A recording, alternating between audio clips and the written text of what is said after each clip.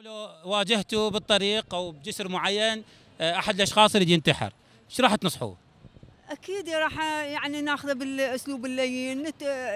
نفتح له يعني مجالات الحياة شلون نفتح له الأمور قدامه نوخر نوخر السلبيات اللي أمامه نهدئ الوضع يمكن يكون يعني أفضل. توجهها للي هسه اللي دا يشوفنا ممكن عنده دافع يروح ينتحر.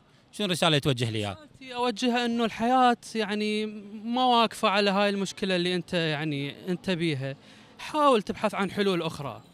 حاول لابد. يعني الله سبحانه وتعالى مطيك يعني عدة إمكانيات عدة حلول في داخلك في داير مدايرك محيطك أهلك أسرتك مجتمعك توجه بطلب المساعدة. لازم اكو ناس يقدموا لك المساعدة وتنحل المشكلة إن شاء الله. ماكو شيء ما له حل. اليوم لو تشوفون ماشيين بالشارع أو على جسر وشفتوا واحد يريد ينتحر. شت شت تنصحون شت تنصحون أنا انتحر قبله علي لوش إي نقول له لا ما يصير ونقول الله موجود والله كريم بكت هاي. إن شاء الله أزمة وتعدي.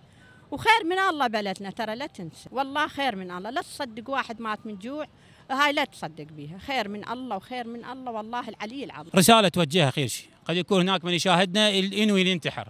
شو توجه له الرسالة؟ والله نقول له إن شاء الله المستقبل أفضل. اتجه إلى الله. إن شاء الله مسارك أوضح يكون لك تتخذ خيارات صائبة أكثر. أنت وراك جاز عائلة أخ آه، آه، صديق كلهم يهتمون إلى شأنك. إن شاء الله يعني الوضع يتحسن أفضل وتتخذ القرار الصائب. يعني يجوز واحد أدري. دا يسمعنا ولا نيه ينتحر. شو نقول له؟ شو نوصل له رسالة؟ طبعا اشجعه بال إنه لا ينتحر يدور له شغل يشتغل أي شيء حتى يعيش عائلته. إنه مو إلا ينتحر أو الدنيا ما توقف على شيء. نقول مهما يكون ما توصل الحال إلى الانتحار. لا مهما يكون ما توصل الحالة الانتحار لا لأنه هذا شيء حرام.